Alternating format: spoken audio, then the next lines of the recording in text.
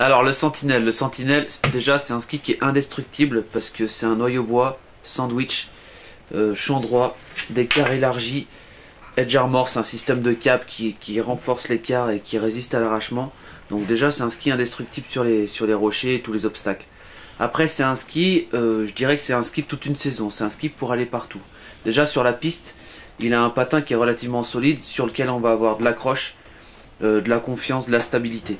Donc c'est tout ce qui est neige dure et neige piste, euh, on va vraiment quand même se faire plaisir avec. Euh, son, patin il fait 94 mm. C'est déjà large pour un ski. Donc l'avantage c'est qu'en hors piste, en poudreuse, on va avoir déjà de la portance sous le pied.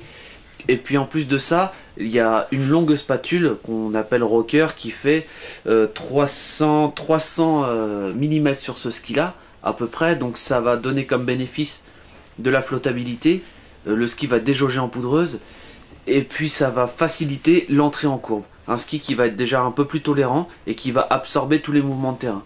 Donc euh, je le conseille à des gens qui sont euh, qui aiment les skis traditionnels, les skis solides, puissants, qui ont de l'accroche et du power et qui veulent aller un petit peu partout. sur de la piste, en neige trafole où il va vraiment bien percuter, bien traverser toutes ces neiges travaillées et puis même dans la poudreuse, donc c'est un ski pour toute la montagne. Voilà.